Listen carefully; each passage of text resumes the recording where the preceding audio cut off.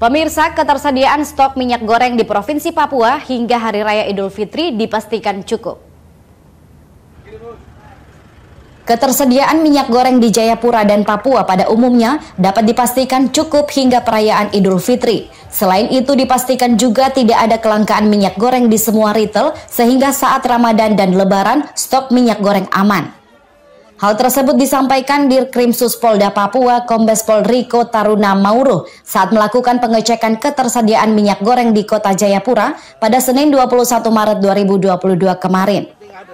Riko menyebutkan bahwa dalam waktu dekat distribusi minyak goreng ke Papua akan dilakukan. Menurutnya sudah ada 8 kontainer yang sudah masuk dan ada tiga kontainer lagi yang akan datang.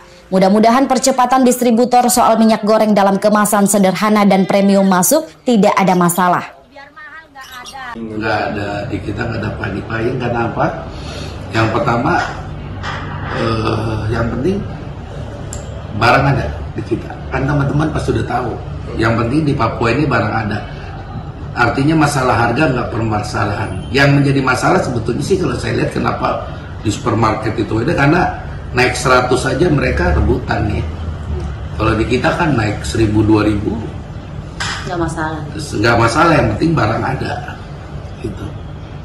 Jadi kita berharap minyak goreng curah sebelum bulan Ramadan keluar. Dan minyak goreng curah itu harga headnya 14.000 per liter. 15.500 per kilogram. Dan itu untuk diperuntukkan untuk UMKM sama untuk kebutuhan rumah tangga.